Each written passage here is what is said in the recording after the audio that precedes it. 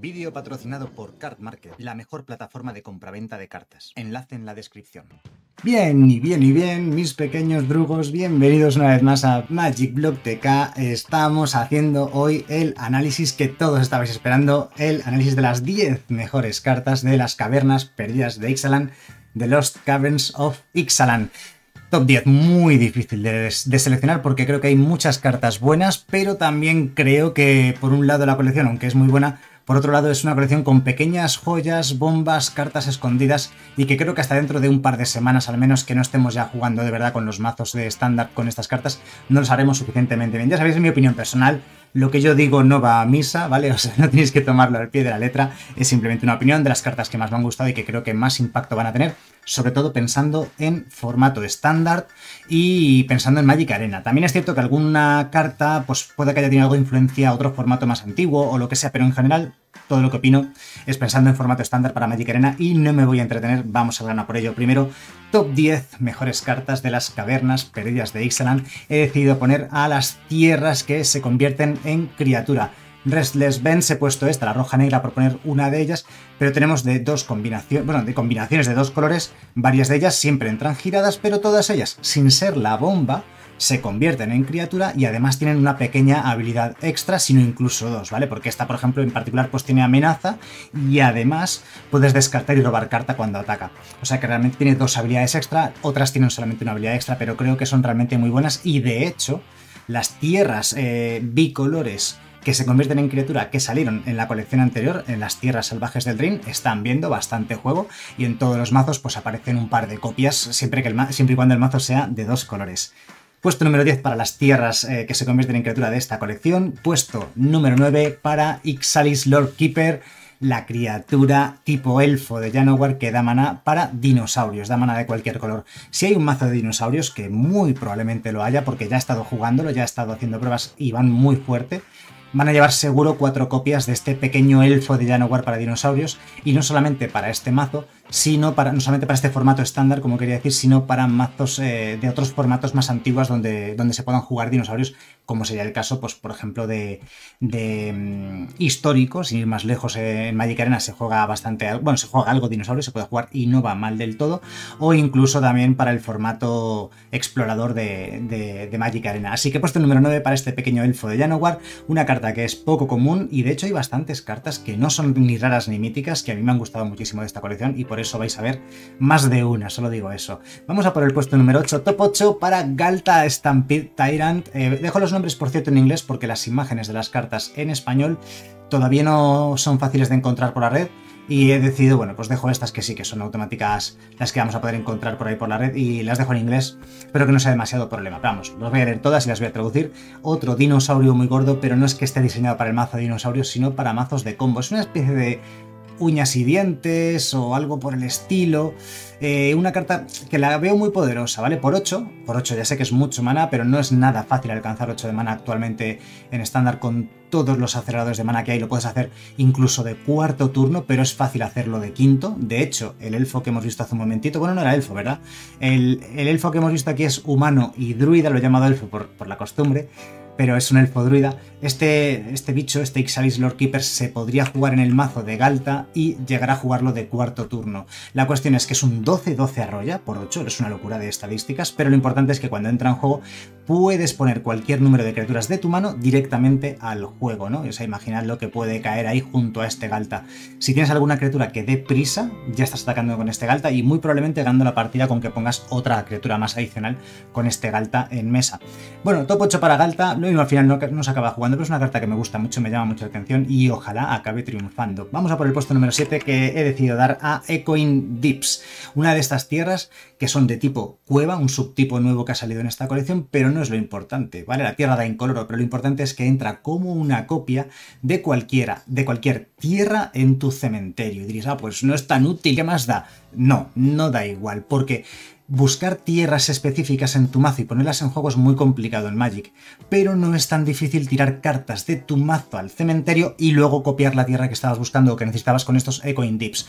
No es la primera tierra que copia otras tierras, como es el caso, por ejemplo, de la Vesuva original, una tierra que es muy, bueno, históricamente ha sido muy importante en, Magic y esta tierra pues viene a ser un poquito esa besuba modernizada y más eh, sinérgica con, con tierras del cementerio y que además tiene un pequeño aliciente y es que es cueva.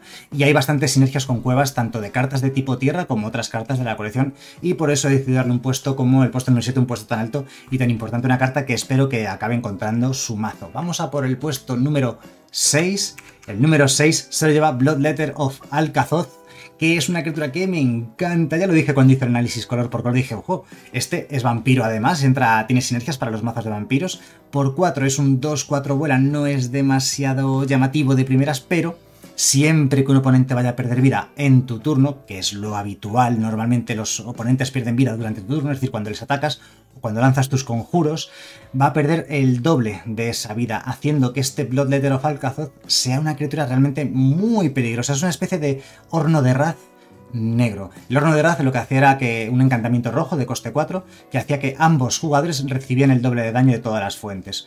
Eh, bueno, pues es algo parecido a ese horno de raz, solo que viene con patas, es decir, es una criatura, y además es de tipo vampiro. Creo que es una carta escondida que mucha gente ha pasado por alto, pero creo que puede dar bastante diversión. Pensad en mazos de vampiros o pensad en las típicas mono black, ya sean midrange o agro o lo que sean, ¿no? Con Seol de ese tipo de cosas, pues este Bloodletter of Alcazoth podría entrar a acompañar. Vamos a por el puesto número 5, llegamos a la mitad de la tabla con Tishanas Tidebinder me encanta este Merfolk, este tritón. Es una pena que al final creo que en esta colección no han salido muchos tritones buenos. No parece que en estándar vayamos a tener mazo de tritones, pero sí hay mazo de tritones incluso en, explorador en Magic Arena o en histórico y no son malos. Y este es otro tritón que entra muy fuerte, pero es bueno incluso en mazo que sea de hechiceros, que también es hechicero, que también es un buen tipo de criatura, pero es una buena criatura en general. Por 3 es un 3-2, que tiene destello, tiene flash, lo puedes jugar a velocidad instantáneo y cuando entra en juego contrarresta un hechizo, o sea, perdón, contrarresta una habilidad activada o disparada, ¿vale? De algún permanente del oponente. Y además, eh, bueno, no tiene por qué ser algún permanente, puede ser una habilidad disparada o activada de cualquier cosa, ¿vale? Pero lo importante es que además, si esa carta a la cual has contrarrestado la habilidad activada o disparada es un artefacto, una criatura, un Planeswalker de esa manera a la cual has contrarrestado la habilidad activada o disparada, le quita esa habilidad mientras Tisana Binder esté en mesa. Es decir, básicamente, eh, me haces, eh, por ejemplo, una cosa súper típica que es la Wandering Emperor, ¿no? La, Emperatriz Errante. Pues contrarrestas la habilidad de la Emperatriz Errante y anulas sus habilidades mientras Tisana esté en juego. Me parece que es una carta bastante buena y que va a haber bastante juego. Puesto número 5 para Tisana, un excelente tritón que es posible que vea juego en formatos también más antiguos. Vamos a por el puesto número 4, nos empezamos a acercar ya a la recta final.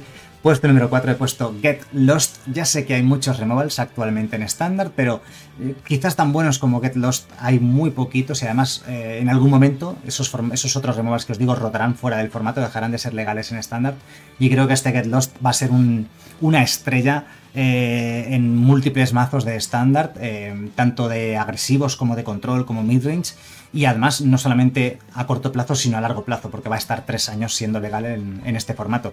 Además creo que puede ser una estrella casi multiformato. Por dos, instantáneo, destruye artefacto, criatura, encantamiento o incluso Planeswalker, lo destruye casi todo. Y darle fichas de mapa al oponente dos fichas de mapa al oponente, pues a veces le será útil, pero otras veces no. Si no tiene criaturas, simplemente no lo va a poder aprovechar. Y la habilidad de explorar tampoco es que sea una locura de habilidad como para que te preocupes demasiado por Get Lost. Me parece que Get Lost es un removal que mucha gente tampoco ha tenido muy en cuenta y creo que lo vamos a ver muy, muy, muy a menudo en las mesas de juego de Magic. Llegamos al podium, llegamos a las tres mejores cartas para mí, en mi opinión, simplemente mi gusto, las que más me han gustado de esta colección, Las Cavernas Perdidas de Ixalan, medalla de bronce, puesto número 3, que se lo lleva Molten Collapse. Creo que es una carta muy buena para estándar y este es uno de los casos que os decía que la carta es muy buena para estándar, pero creo que también va a ser muy buena en otros formatos más antiguos. De hecho, creo que es, más, es mejor carta incluso en formatos más antiguos, Modern Legacy Vintage, Commander, que incluso que en estándar, ¿vale? Por dos, conjuro, eliges una, ¿vale? Pero eliges dos opciones si algún permanente ha ido al cementerio durante tu turno, ¿no? Entonces, eh, bueno, durante tu turno, durante el turno en el cual lanzas este hechizo, que como es conjuro lo vas a lanzar durante tu turno, en la mayoría de las ocasiones. Destruye criatura o Planeswalker por dos de mana, aunque sea conjuro, está muy bien. Y la otra opción es que destruye un permanente que no sea criatura de coste 1 o menos. Ya sé que hay pocos permanentes que, no sean criatura de coste 1 o menos, pero los hay en estándar. Pero ya digamos, en formatos antiguos hay muchísimos, ¿de acuerdo? Entonces, es una carta muy versátil porque puede interactuar con criaturas, con Walker, con permanentes que no son tierra baratos, y además puede hacer las dos cosas. Una carta que por 2 de mana te ofrece un posible 2 por 1 es absolutamente excepcional. Por eso me da de bronce, aunque soy consciente de que quizás eh, no vaya a brillar demasiado en estándar, al menos parece que en el estándar actual que tenemos no, mientras no haya fetchlands buenas, no, no parece que vaya a ser una, una gran estrella del formato estándar.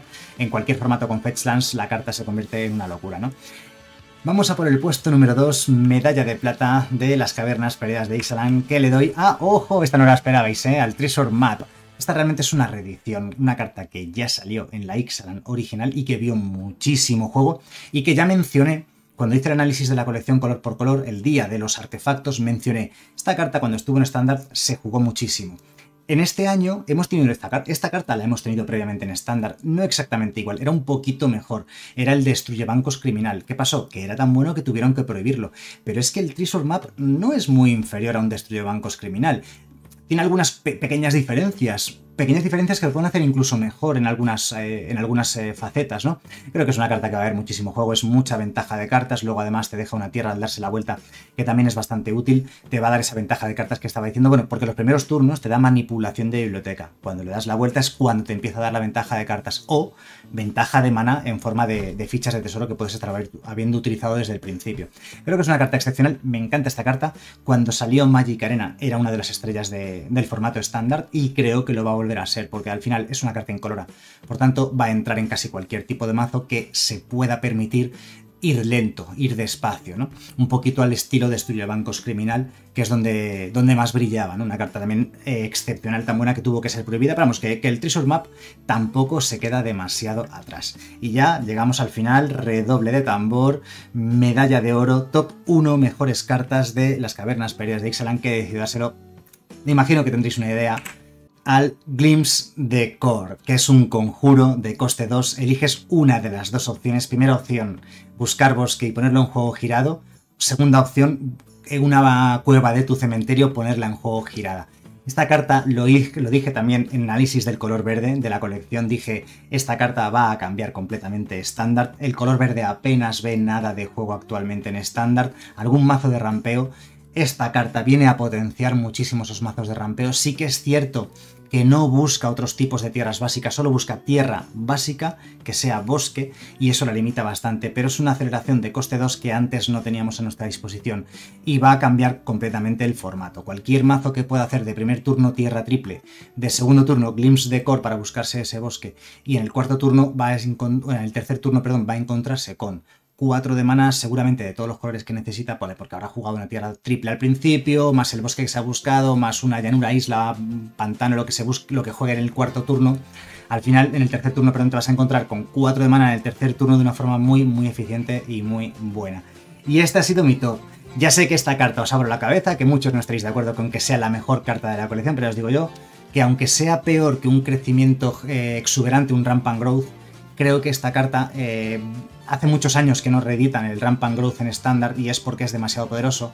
Es una reducción de poder de la carta, evidentemente, que solo busque bosque de tipo. O sea, eh, tierra básica de tipo bosque. Sé que eso lo reduce bastante, pero también es muy buena para mazos de cuevas y creo que va a haber mazos con muchas, muchas cuevas y que las van a querer jugar desde el propio cementerio al juego. Así que polémica, lo sé, pero quería poner también una carta que no fuese rara o mítica de mejor carta de la colección y que no fuese lo obvio, lo que todo el mundo estaba esperando. Nada más, espero que el vídeo os haya gustado, nos vemos en el siguiente. Hasta luego.